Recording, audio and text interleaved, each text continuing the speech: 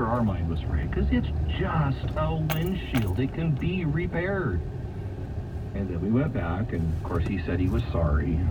He was scared. But you know what? He was already forgiven before we even talked with him. Now, is there a physical consequence? Oh, yeah. He worked all summer to pay for that windshield repair. That was a real consequence for what he had done. But he was already forgiven. See, you and I may do things that in this life will bring consequence. But we need to understand that Jesus has already forgiven us. And there's compassion because of who he is. And that's what's so incredible about our God.